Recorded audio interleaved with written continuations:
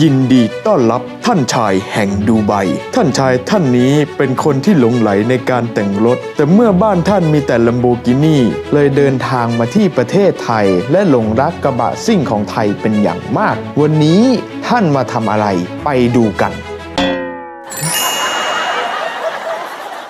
ที่นี่แต่งรถสวยมากเลย ไอชอบสไตล์การแต่งรถของคนที่ประเทศไทยมาก ขอบคุณครับท่านชาย แต่ผมว่าท่านชายเนี่ยหน้าตาคุ้นๆนะครับ เราเคยเจอกันที่ไหนมาก่อนหรือเปล่านี่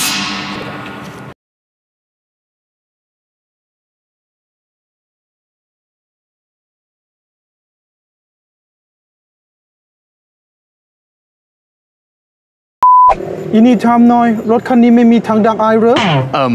ไม่มีครับท่านชายแล้วคันนี้เรามีไหมไม่มีครับนายจ๋าอย่าบอกนะว่าคันนั้นก็ไม่มี ใช่ครับ ไม่มีเหมือนกันครับนายจ๋าโอ้ my god ประเทศไทย only ทำไมประเทศไทยถึงทำแบบนี้ ออปชั่นดีๆ ตัดออกหมดเลย เออ รู้ไหมว่าที่ประเทศอื่นๆ เราซื้อรถออกมาจากศูนย์เนี่ย เรามีทั้งดักไอให้หมดเลย เออ ประเทศไทยนี่หัวยแตกมาก why why why ทำไมถึงเป็นแบบนี้ why เดี๋ยวก่อนครับนายจ๋าถึงประเทศไทยจะไม่มีให้ แต่ที่เฟรกเรามีให้ นี่เลย เรามีถังดักไอมานำเสนอ ถ้านายจ๋าอยากรู้ว่าดียังไง นายจ๋าตั้งใจดูด้วยนะหนึ่งเลยสามารถดักไอได้จริงสองมีตะแกรงหลายชั้น ดักสิ่งสกปรกได้มั่นใจในความสะอาด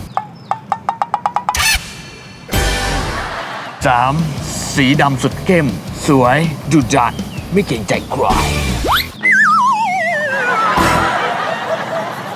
4. มาพร้อมกับขาตรงรุ่น ติดตั้งง่ายไม่วุ่นวายทำเองได้ที่บ้าน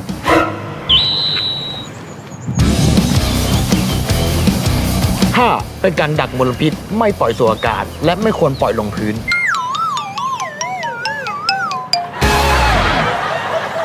โอ้สุดยอดเลย ในเมื่อเมืองไทยไม่มี เดี๋ยวอีนี่เหมาหมดเลย แจกทุกศูนย์ในประเทศไทย ที่ไหนไม่มีถังดักไอ เรามีให้แต่ว่านายจ๋านี่หน้าตา